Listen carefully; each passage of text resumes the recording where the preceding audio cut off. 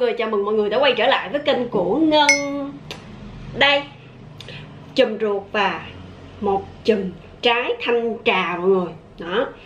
Thì cái chùm ruột này á, Ngân đã ngâm với lại mắm, đường và ớt rồi. Nhưng mà có vẻ cũng sẽ là còn khá là chua á mọi người. Tại vì hồi nãy Ngân thử một trái sống nó chua Má hơi luôn á. Đây, trái thanh trà thì cái trái thanh trà này á, ở miền tây thì rất là nhiều. Nhưng mà không biết ở sài gòn miền bắc miền trung á, thì mọi người có biết trái này hay không? Thì nếu không biết thì chuẩn bị xem tiếp video thì ngân sẽ nói về trái này và mình ăn nha mọi người. Um, ăn chùm ruột trước ha.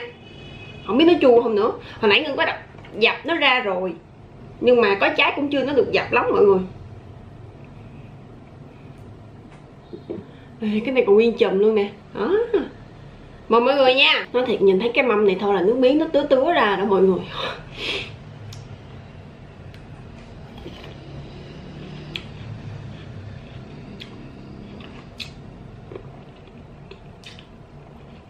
Wow. Ôi trời chua chảy nước mắt luôn.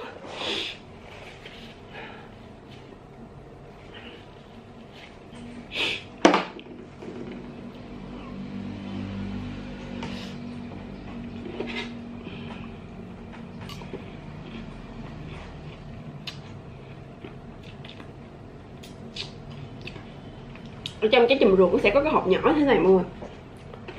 Chùm ruột á chùm ruột là dân miền tây gọi. Nhiên là đúng là phải là chùm ruột. Thì cái chùm ruột này á tôi nghĩ là ở sài gòn sẽ biết nhiều hơn là trái thanh trà. Tại vì á à, những cái chỗ mà ăn vặt ở sài gòn thì con thấy bán à, cái chùm ruột này nè. Ngâm mắm đường có và mình à, ngào đường cũng có cho nên nó nó sẽ không lạ với lại à, sài gòn lắm ha. Nhưng mà nó chua quá.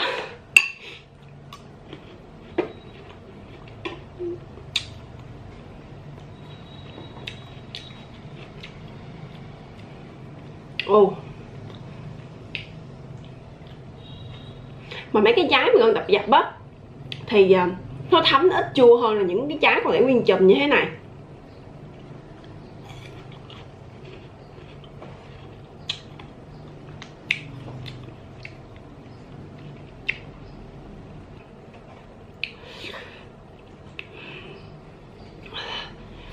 Nó cay. Chua lắm cho nhiều đường nước mắm rồi đó, nhưng mà nó vẫn rất là chua.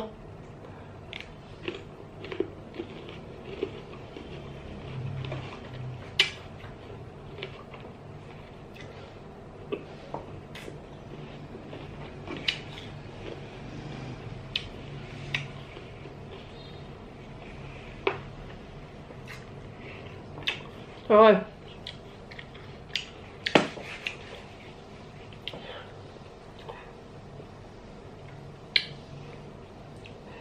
Coi như chanh luôn á mọi người. Cái này chắc chỉ có ngào đường ăn mới ngon nổi. À trời chua lém đây. Quay lại trái thanh trà.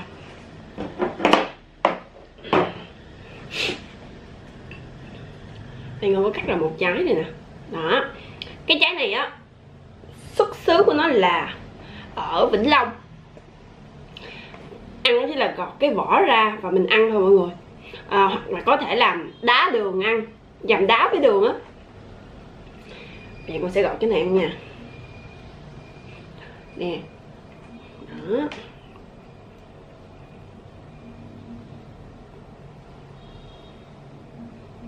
Cái trái này á thì nó cái vào mùa của nó là khoảng tháng uh, tháng 1 âm lịch mọi người hiện tại bây giờ á, là cuối mùa rồi, cho nên cái trái thanh trà này có giá hơi cao hơn bình thường một chút xíu thôi.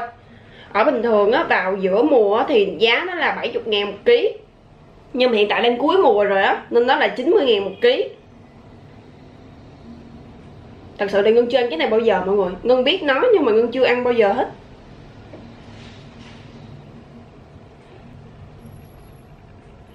không chẻ được, mọi người. Ở trên dưỡng nó có một cái hộp rất là to luôn.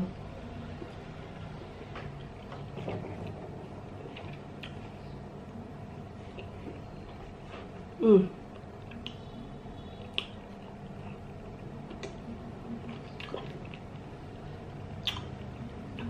Cái hộp rất là to.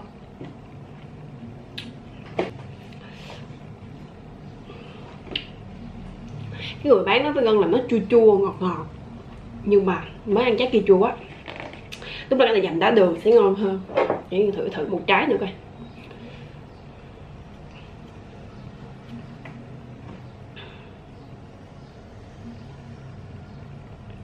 Cái vị của nó giống như trái xoài vậy mọi người nó na ná như trái xoài chín vậy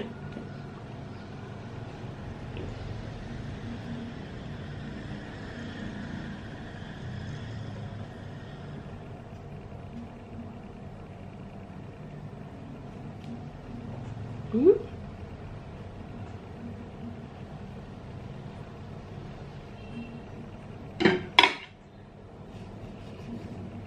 nè, cái hộp rất là to luôn. Ừ. Ồ, trái này ngọt. Trái này chua chua ngọt ngọt, cái vị ngọt nó nhiều hơn. Thơm lắm luôn á. Nhưng mà ăn hơi bị hơi bị giống trái xoài một chút xíu.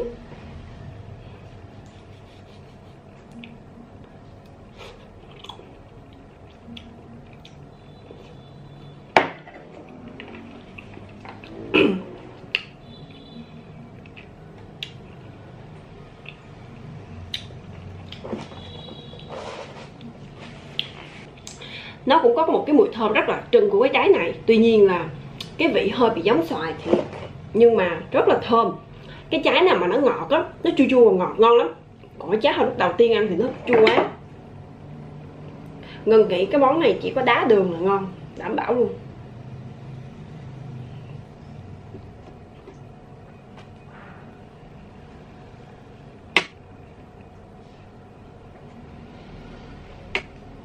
Cái vỏ của nó lột cũng giống như trái xoài luôn á mọi người.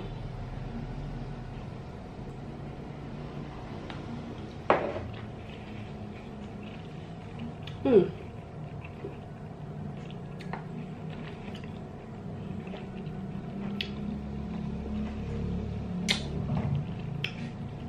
ồ.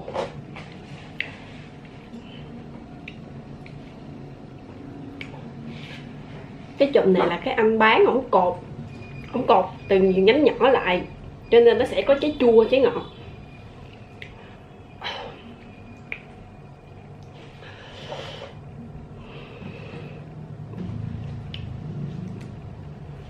Cái chùm này ngô mua là một ký ờ, một ký mốt.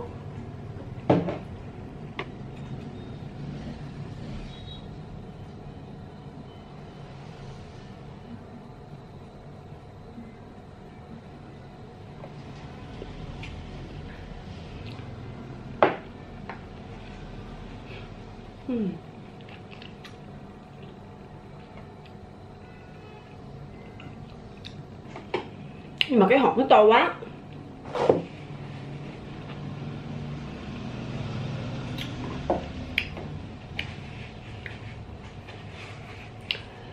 Ồ. Bây giờ Ngân sẽ làm thử một ly đá đường. Ăn thử coi nó ngon nha mọi người. Đá đường thì giờ mình chỉ gọt vỏ rồi à. lấy thịt bỏ hộp thôi.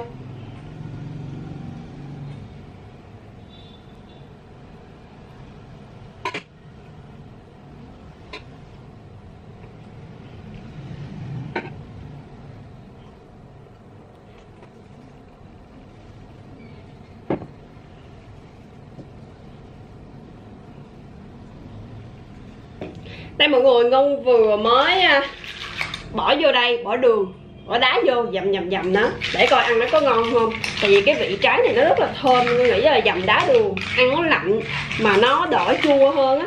Nó sẽ ngon hơn mọi người trời Sài Gòn nắng mà bút cái ly này vô là thôi rồi. Ngân không có cho nước vào đây luôn Ngân chỉ cho cái trái này nè Cho đường, cho đá vô mà Ngân dầm một hồi cái nó ra nước. Tại vì cái trái này cắn ra nước nó rất là nhiều luôn. Mình thử miếng nước nha. Wow. Trời ơi, đúng như Ngân nghĩ luôn mọi người. Chua chua ngọt ngọt rất là thơm luôn. Ừ. À, món này ăn đá đường là ngon thiệt.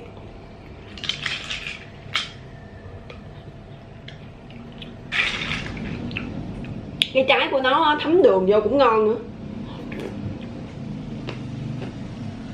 Wow mắc lạnh luôn á.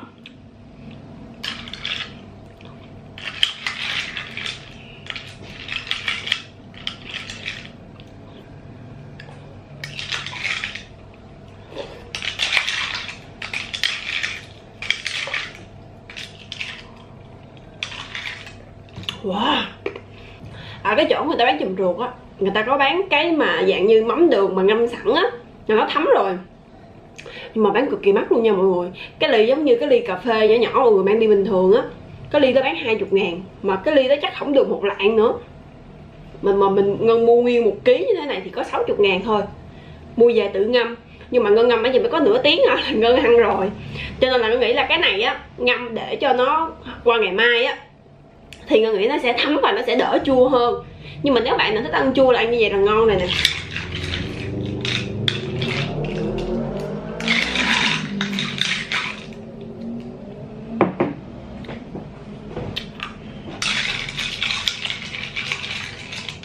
Wow.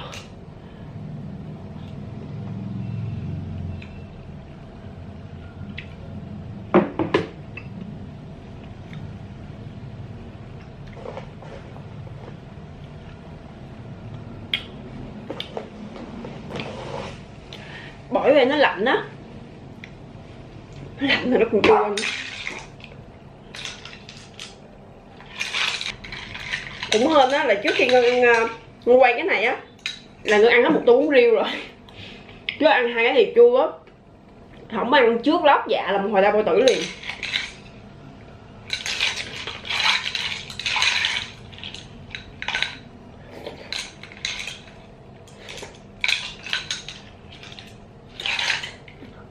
hay là do cuối mùa cho nên là nó nó hơi bị chua ta. Tại vì ngân biết cái này thì qua tivi báo đài thì cũng lâu rồi, nhưng mà ăn thì sớm nay lần đầu tiên ăn thử luôn, nhưng mà ngân thấy nó hơi bị chua quá. Chỉ có làm đá đường ăn là số 1 thôi. Ăn chùm ruột tiếp mọi người.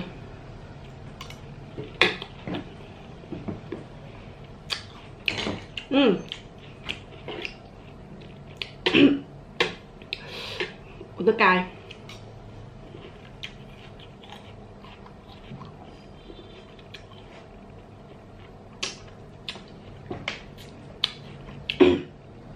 Mấy cái trái mận đập nó dập nát bét luôn á.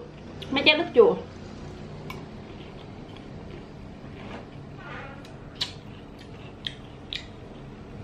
Ồ.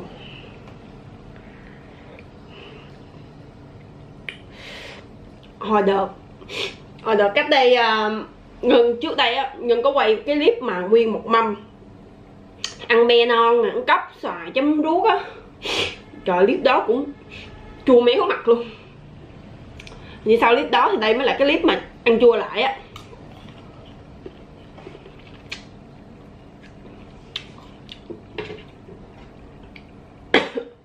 Nó cay nó nồng lên mũi luôn mọi người.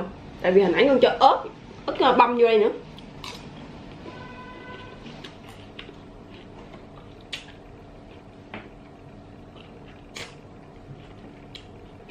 Cái trái chụp ruột này á. Ở dưới quê ngân là nó một bao la luôn á. Sài gòn mua thì 60 ngàn một ký.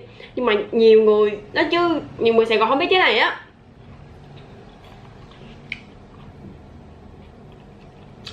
Cái này miền tây nhiều. Mà miền tây bây giờ nói là cũng nhiều thôi, nhưng mà nó ít hơn hồi xưa, tại vì do người ta bán ăn vặt bằng cái trái này ngào đường nhiều quá cho nên là họ cũng hái rồi à, vận chuyển đi bán nữa. Thì ngân có xem mấy cái kênh youtube của mấy mấy người bên um, bên mỹ á vài kênh. Hôm qua giờ ngân xem hình như ba kênh bốn kênh rồi là ai cũng bị thất nghiệp hết mọi người. Không thể tìm được việc làm đi siêu thị là hết sạch luôn. Thì á uh, việt nam mình đã chắn là ảnh hưởng rồi ở công ty ngân hiện tại bây giờ là kiểu như cũng không có đơn hàng gì nhiều để làm. Thì nhân viên thì cũng đông nữa cho nên là một ngày chỉ cần một hai người tới công ty trực rồi mọi người còn bao nhiêu là có thể ở nhà làm online luôn. Tới mức độ vậy luôn tại cũng hạn chế tại vì lên đông quá mà công việc thì không có quá nhiều cho nên là hỗ trợ có thể làm ở nhà luôn. À, khi nào có việc cần thì chạy lên công ty như vậy là vẫn còn mừng á mọi người, chứ nhiều công ty không có đơn hàng phải đóng cửa luôn. Mà công ty đóng cửa thì đồng nghĩa với mình thất nghiệp, rất là lo luôn. Mà trong cái thời điểm này nếu mà thất nghiệp thì không thể tìm việc làm được. Người ta còn muốn cắt giảm nhân viên nữa thì làm sao mà nhận người mới được? Đó, cho nên là bây giờ ở thời điểm này tìm việc rất là khó khăn luôn.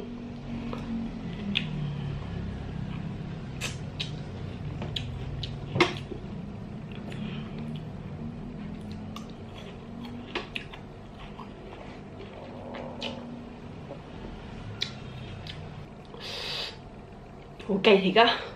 Nãy con cho quá trời ớt luôn. Nhưng mà cái chùm ruột này là mọi người. Đừng ăn lần nhiều quá nha. Ăn lần nhiều quá là vô ôm toilet luôn á. Tại vì nó chua quá á. Ăn nhiều chua quá là toilet đó mọi người.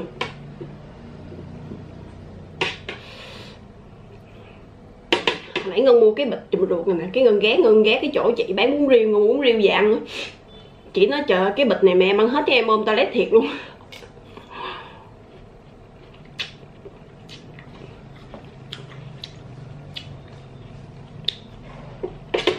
Chua quá mặn rồi.